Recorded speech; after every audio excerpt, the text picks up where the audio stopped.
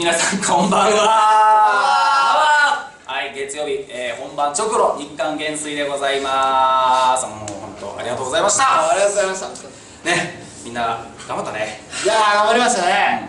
頑張った？まだ疲れる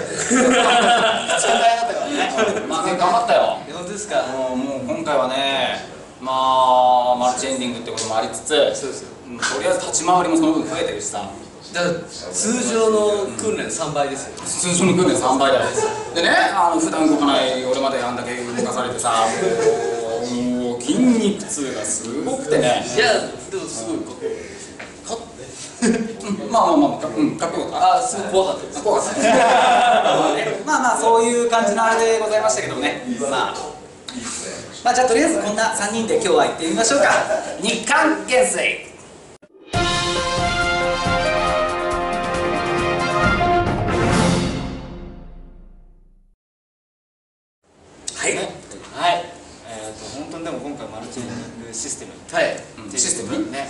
ゲームみたいだね。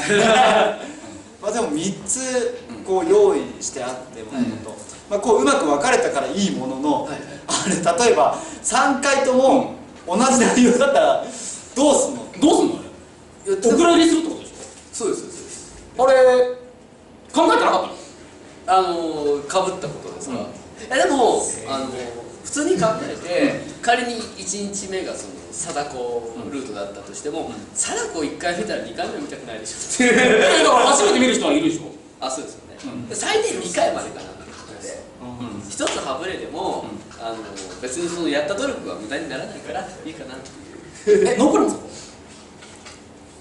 か？考えてなかったの 危ねえな話あいや別れてよかったよ。別れてよかったしい夜に貞子じゃなくてよかったよ。あれ本当確かに本番本番式で本番終わって思ったんですけど、楽屋でまあかぶってるじゃないですか、あの振り返って鏡がある時に、その鏡に映ってるわけですよ、超怖いっすよあれ。あれあれさあのかぶってる本人としてはあれなんだけど分かんないから。はい。やっぱ怖いんだ。怖いっすいやーあれは怖いっすよ。怖いんだ。多分、玄関前に仮にいたら、うん。蹴り飛ばします？だから何が怖いかってあの貞子ってこうね、バッて出た時の、ガンっていう目じゃないですか、うん。はいガンっていう、うん。それが真島貞子はボンっていうヒゲなんですよ。ボンっていうヒゲなんですよ。ヒゲ？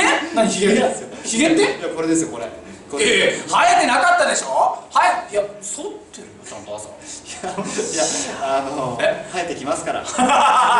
ちゃんとこっちはちゃんとこっちは生えてきますから。そうこっちは。生えてきますから。こっちは。こっちは。って言うなこっちはって言うな生えては来るわ。生えては来てるわ。そう本数が少ないだけで。生えては来てるわ。こっちはわさわさ生えてる。だってあれだよ。あの一つ言っておきたい。あのあのねもみあげとひげの境目がねえんだよ あのねいつも思うの。どこからがひげでどこからがもみあげなのかなっていいつも思うの。あれじゃないですか気配薬の影響じゃないですか？え？の飲んでた？すでに飲んでた飲んで、うん。多分ワシャワシャワシャって出ちゃったんですかあのねうわっと入ってくるんだよね。うわっうわっと入ってくるしかも硬いからこれね何日か伸ばす。はい。あんまり伸ばすことないけど硬いからねまっすぐ伸びてくるのまっすぐ伸びてあ前ちょっとねあのひげ伸ばしたことがあったの。あったんだけどその時にね、まあ、ここら辺とかも結構伸ばしたの。そしたらあのなんだろう。よく口ひげとかってさこうこうなるじゃん。ああこう一応こう下に行くじゃん。前に行くんだよ。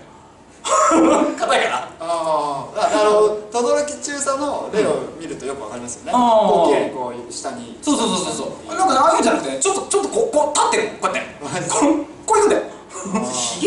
なんか刺さってるんじゃないですか？刺さってんの？刺あのさってんのこれこれは神様のいたずらなのか、うん。多分拷問なんですねここは。いや拷問だよ。神様のいたずらなのか。ああな泣くな直毛ってことですよね。直毛直毛。直毛でこうすごいよ。上上はテンパーってことですか？上はテンパ。上はねあ柔らかい。柔らかい。柔らかい。あのふわふわしてるあいわゆるななんていうの？猫っ毛っていうの？猫毛。うん。まあ可愛く言えばそうですそうね猫っ毛。かわやば。い 猫とえ可愛いんですか？やめてよ！やめてやめて。ねあのダメだからそういうのはね。あのさされたいんだったらこっちさんにない？や絶対嫌です。ねじゃあちょっとだけ。こちょっと待ってちょっと手の甲で。なんでそんな増えんの？ちょちょちょちょちょちょちょちょちょちょちょちょちょグッてやってあのね普通にね剣ちょっと傷がつくぐらい硬い完成したらどうするんですか完成しねえよ誰がウイルスだよ完成でーってなるとどうするんですか完成させてやりたいそそれで感染してうわーってなるんだったら全員に感染させてやりたいマジマパンデミックが起こる気持ち悪いです気持ち悪い気持ち悪いってまあでも今回はイカンがメインっていうことでそうそうそうそうそうあの帝国史上初ということでそうそうそう。だからあのー、ここここ2人は、あれゲストだったからね。あってことは主役ってことですか？そうイ主役？イカンが主役。うんイカンが主役ね。真島君最近どうよ？だからだから違うから違うから違うから。違う。うんあのー、違う。違うからね。違う。うん。違う。でも回復変わったわけじゃないから。だからあのまあ普段ね、うん。あのその第14帝国の本式典というものでは、うん。その日の目を見ないイカンたちが今回ねあのここあらばとねチャンスだと思ってうやりますって言ったんでしょ？そうです。そうです。ん。ね気がついたらやってました。うん。ぐぐいぐい出てきたね。クイック出ましたうん。まあでも新しいですよね、うん。こうなんなんなんて言うんだろうな。こう普段なかなか見ることのできない、うん。あのイカンたちの実力っていうか、はいね普段見せない姿が逆にあうん。の市民の皆さんに伝わったんじゃないかな、届きましたか届いたのであれば召喚は幸せです。っていうのは建前だ。かなんで？ら そういうキャラじゃない。の仮にそうだとしても今言ったらダメでしょ。いやいやいやお俺はあれだよ。あの藤代翔也そういう人間だってことを俺は推してくる。推してるから。何を売りにしてるんですか？いやいやいやなんかほらあんまりこう人気出られてもなんかほらなんか悔しいじゃん。まあここにしあの2つ連続でそうメモリアルうん。なんか妙に目立っちゃってさ。妙にって何ですか？だからでもでもいいと思いますよ。目立ってなんぼじゃないですか。ほらね。目立つことがう意味があるんですよ、まあね確かにね。あれ？ちょっと待って。なんかえ？終わるの？今は。いやいや。いやマジはちょっと何言ってるんすかいつも目立ってやめてそこに行けば落ちると思うな本当に。何かっていうと毛だよ。今回の毛を全面とします毛をしすぎだよ。毛でしかないですね。毛でしかない。本当に。毛だまりだよ本当に。ちょっとよくわかんない。まあいやでもお召喚はうまいと思いましたよ。もうすごい感動しましたもん。もうなんか気が傾いてますね今。感動しすぎて。いああ鳥肌立っちゃったね。うん。ごめんね。やいいですいいです。まあでもそんな、はい。ねあの緊急の帝国メモリアルということでしたけれども、うん。えー市民の皆さんどうどうでしたでしょうか？まあ楽しんでいただけたら本当よかったなと。本当にあのー、みんなで体をね酷使してやった甲斐がねあったかなと。ね。次回作はどうなるのか。お次回次回作の放送があるまあ別に機会があったらねなんかこれはこれで一つなんだろうあのもしみな皆さんがこれが楽しんでもらえて、まあ、これはこれで一つの形としてもしこう認めてもらえるんだったらなんだろうそれはそれで一つ、はい。このこういうジャンルの僕らっていうので一つちょっとカテゴリー的にあってもいいのかなっていう。そうですね。うん、気はするよね。だからまたもし機会があったらねやれたらいいよね。そうですね、うん。若杉慎之介の帝国メモリアル そこなんだそこなんだああまあまあ別にそれはね、うん、その時にやれたら何でも面白きゃいいと思うよ。もう十分動きました。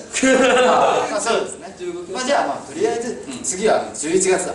そうだね。11月はね。11月はちゃんとちゃんとっていうか 本式典ということで。本式典ということで。